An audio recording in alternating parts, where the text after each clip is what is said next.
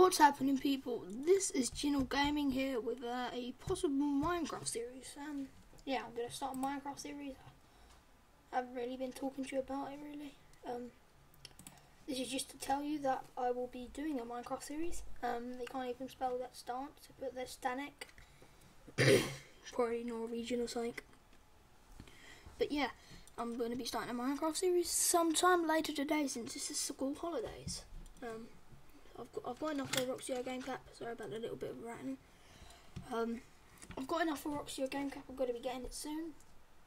Um, and I'll see you guys later with a uh, Minecraft series. So yeah, guys, I'd love to see you soon.